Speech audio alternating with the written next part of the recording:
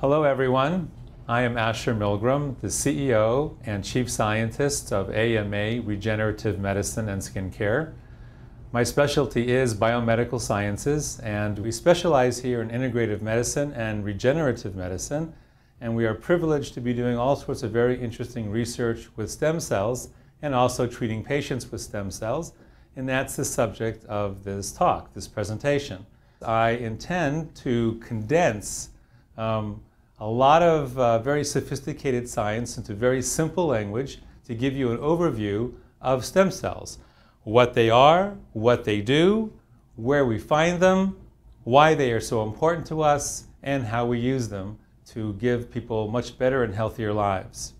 So we're starting with this slide, which is obviously a slide from the Hubble telescope of cosmic events. This is a cosmic nebulae which really represents the creation of the universe. If you look in there with the special telescopes, you can see all the way back to the beginning, the Big Bang, when the universe was created.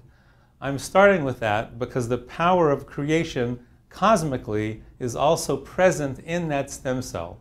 The power of creation of our own physiology, of our own health, our vitality, is all imbued, inherent in those magic stem cells. In fact, many people call the stem cell the God cell. And here he is. That's the stem cell right there.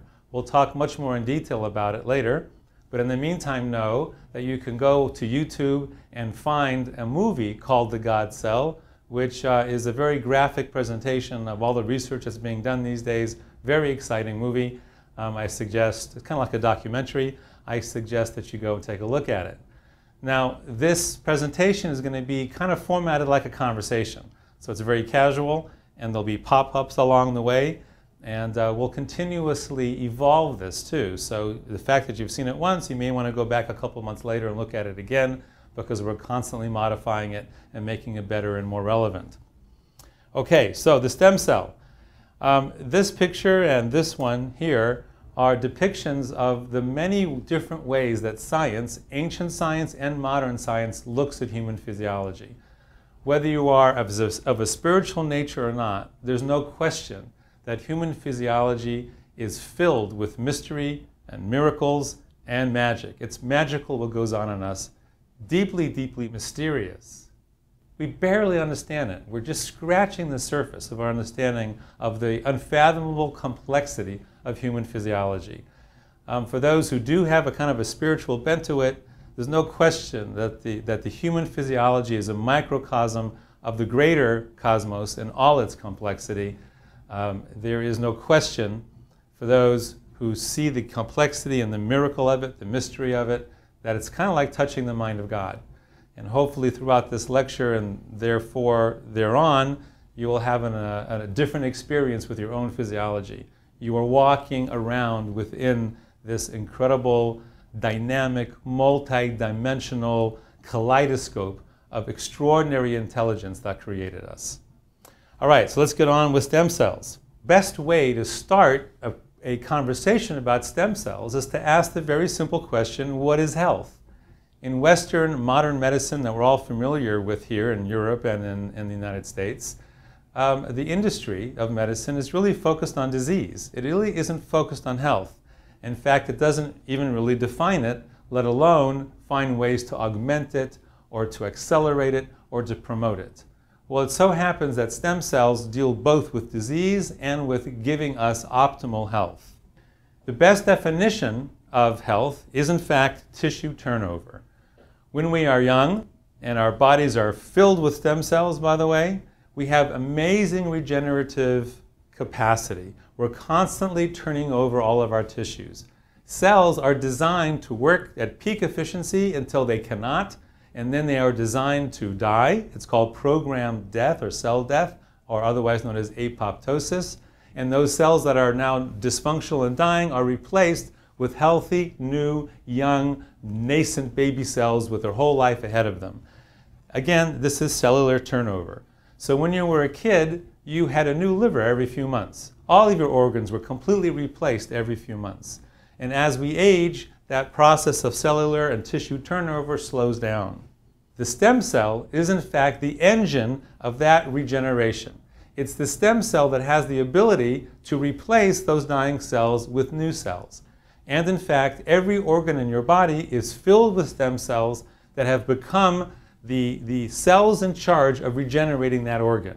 In liver, there are liver stem cells that regenerate new liver cells, and in your kidneys, and in your vasculature, etc. All over your body, stem cells specializing in different organs.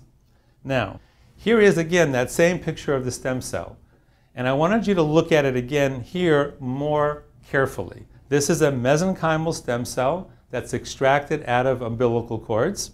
And you'll see that the cell has little bumps on it, those little bubbles all over the surface.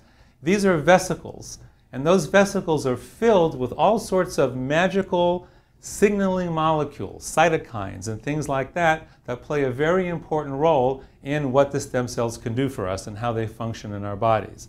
So hold this image in your mind, and we're going to get back to it. Now, stem cells. What is the promise of regenerative medicine? Number one, to cure disease.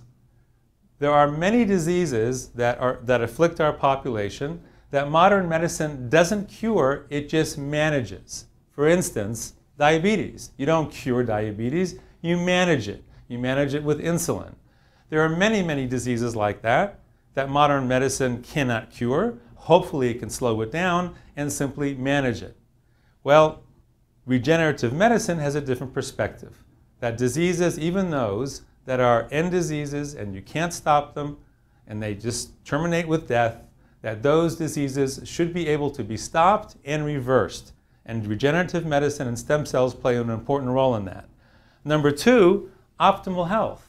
That thing, which modern medicine doesn't deal with, our health, defining it, augmenting it, promoting it, accelerating it, well, regenerative medicine does exactly that. Instead of just managing tissue that isn't working well, you know, for instance, you know, your pancreas if you have diabetes. How about replacing the damaged tissue or the dysfunctional tissue with new, healthy, young tissue that does function well? And then the disease would simply go away and you would be restored to optimal health. That's what regenerative medicine is about. And last but not least, longevity. If you could keep your organs young, you could live a lot longer. It's really that simple. The kind of motto that we play with here, maybe I should trademark it, is that regenerative medicine adds years to your life and life to your years. We kind of like that, and that really is what we do with regenerative medicine. So, what is a stem cell? Here we have a slide of stem cells. Two critical characteristics define what a stem cell is. Number one, it is in fact what we call an immortal cell. It hangs around for a long time. And while it's, while it's hanging around, it has two things it can do. Number one, you see on the left side of the slide that it is self-renewing. It can, in fact, duplicate itself precisely. And so that new cell that, came, that was the daughter cell of the stem cell is an exact duplicate of the stem cell itself. And the other side, it can differentiate, which means it can turn into an organ cell, an adult differentiated organ cell, also known as a somatic cell. So if we have a stem cell in the liver and you, the liver needs a new cell, that stem cell in there is going to pop out into two. One of them is going to be a duplicate of the original, and the other one's going to be that new liver cell that the body or the liver needs. Now, while we're here discussing the two characteristics of stem cells, it's a good place to say how they are different from our normal organ cells. The primary difference is that normal organ cells, or let's take the liver again for an example, they can duplicate, but they're very limited in how many generations of duplications they can do, and that's a subject for another lecture. And the other thing is that this fully mature organ cell does not have the ability to stay alive forever. It has that programmed death that we spoke of earlier. So limited ability to duplicate, and it is going to die after it ceases to be able to function at peak efficiency. Now here is the, the history of where stem cells come from in our development and where they end up going. So when we are in fact an embryo, we're pretty much all one big collection of stem cells. You have an egg and a sperm. They are both in fact very powerful stem cells because they are going to become everything you are. They come together and they fertilize and that one big cell becomes two, becomes four, becomes eight, those are very powerful stem cells that are in fact going to evolve into, mature into, transform into every different type of cell in your body. So through that process, you see it ends up at the blastocyst. And this is an important distinction here because the blastocyst cells now differentiate into two different types. The pink ones around the outside and the blue ones on the inside. The pink ones are the cells that will not become the baby in the human being. They become all of the embryonic tissue that you need to support the developing fetus. This, this is the, the, uh, the uh, placenta and the umbilical cord. Whereas the blue cells in the middle, those cells are the ones that are going to evolve into, transfer into, all the different cells that are you and all the different organs. Here's a larger picture of it. The cells on the outside that become the cord and the placenta, and the blue cells in the, in the inside. We call them pluripotent or totipotent, and they have the potential of becoming anything. Any cell in your body come from those cells. Here's the hierarchy of how those cells develop. So you start with that blue cell on the top, right, the totipotent or pluripotent cell, and it's going to differentiate into different cell lines, okay, that become the different organ systems. So on the left, we have those that become all the blood cells, and those are not just the red blood cells, but also all of the immune cells that are floating around your body. And then on the other side, we have the cell lines that become the various organs, the muscles and the nerves and the bones and all the other tissues that make up our body. So the organ cells, again, another name for them, are somatic cells.